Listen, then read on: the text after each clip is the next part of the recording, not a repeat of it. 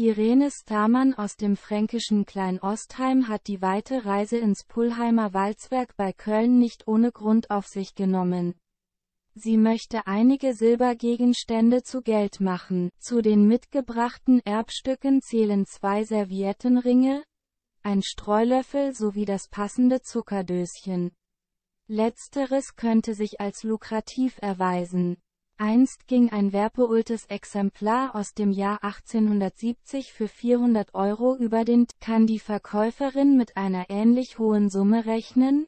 Um das herauszufinden, nimmt Expertin Heide Rezepa Zabel, 58, das Konvolut aus Silber noch einmal ganz genau unter die Lupe und attestiert immerhin einen sehr guten Zustand. Auf die obligatorische Nachfrage von Moderator Horst Lichter, 62, welchen Erlös sie denn gerne erzielen wollen würde, wirft Irene eine Summe von 500 Euro in den Raum. Die 58-jährige Bares für Rares Sachverständige möchte dieser Wertschätzung nicht widersprechen, betont aber, dass es sich bei der oberen Schmerzgrenze tatsächlich um das höchste der Gefühle handele.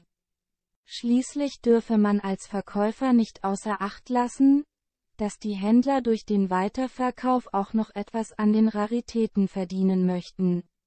Deshalb könne es mit den 500 Euro eventuell eng werden, erklärt Recepa Zabel. Trotz des kleinen Dämpfers will Irene ihr Glück anschließend in den vier Studiowänden von Walter 80 Euro Waldi Lehnertz, 57, und seinen Kollegen versuchen. Lichter übergibt ihr die Händlerkarte, dann nimmt das Fiasko seinen Lauf. Wolfgang Pauritsch, 51, startet zwar mit 180 Euro, kritisiert aber, dass das Zuckerdöschen nur versilbert sei. Julian Schmitz-Avila, 37, ist die gesamte Silbersammlung immerhin schon 200 Euro. Anschließend geht es nur noch mit Kleckerbeträgen aufwärts, bis Pauritsch mit einer Summe von 300 Euro schließlich das letzte Gebot abgibt. Weil Irene ihre Erbstücke aber nicht unter 400 Euro veräußern möchte, bricht sie ihren Auftritt abrupt ab.